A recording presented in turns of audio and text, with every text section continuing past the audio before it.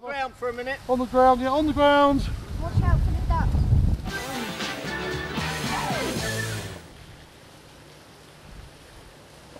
Uh, be careful, she's waggling her tail, just be a bit careful. Anything over six foot is considered dangerous for man. So this is a potentially dangerous snake. Not particularly long snake, but the width of it is the, one of the biggest, widest snakes that I've ever seen in captivity. It's a, truly a monster of snakes. What a fantastic specimen. This snake could go a whole year without food with no damage to it whatsoever. How's that for a super snake?